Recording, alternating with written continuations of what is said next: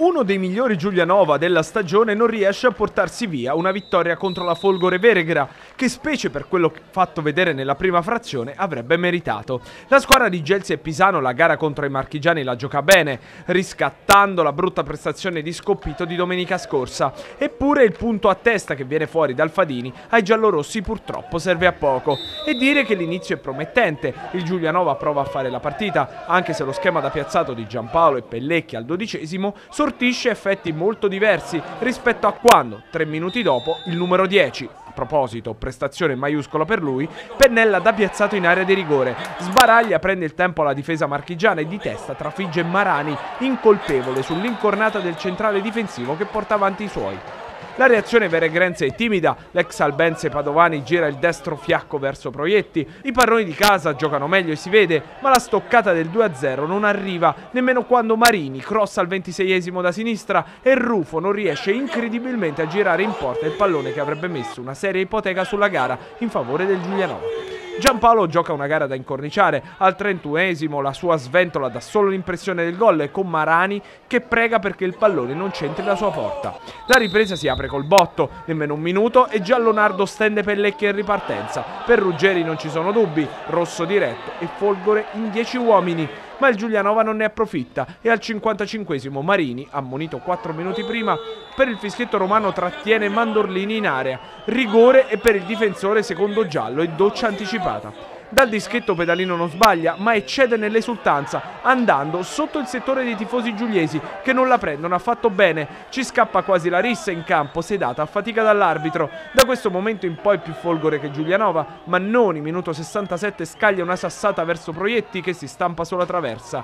Gelsi getta nella mischia Marzucco, Silvestri e Mastrilli, ma nei parroni di casa l'ultimo ad arrendersi è Giampaolo. Il numero 10 fa venire il mal di testa a Gentile, gli scappa via, entra in area e scarica verso Marani una conclusione che il portiere marchigiano disinnesca coi piedi. Ancora proteste giallorosse all'86esimo, quando Gentile, anche lui già ammonito, trattiene al limite dell'area di rigore Pellecchia. Sarebbe fallo da ultimo uomo, ma per Ruggeri è tutto regolare. L'ultimo sussulto lo regala ancora Giampaolo a tempo scaduto, ma non scardina un 1-1 che a conti fatti, sia alla Folgore può stare anche bene, al Giulianova decisamente meno, perché la posizione in classifica rimane la stessa, anche l'Agnonese pareggia, ma per provare la grande impresa servirebbe un deciso cambio di marcia.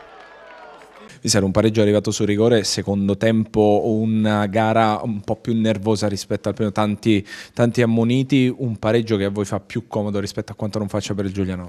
Sicuramente sì, io l'ambiente lo conosco, quindi so che giocare a Giulianova non è mai facile, anzi devo dire che ho trovato contro un'ottima squadra che ci ha messo in, in, grossa, in, grossima, in grossa difficoltà Forse noi il primo tempo non abbiamo fatto quello che dovevamo fare e loro sono usciti un po' fuori. Poi nel secondo tempo ci siamo un po' scossi e siamo riusciti poi a prendere questo pareggio che per noi è molto molto importante. Senta, Pedalino con l'esultanza aveva qualcosa? Sinceramente ha sorpreso anche me perché fino ad oggi è stato sempre un ragazzo moderato a posto, quindi credo che mh, non lo so, sinceramente è partito così e ci sono rimasto anch'io, non me l'aspettavo sinceramente.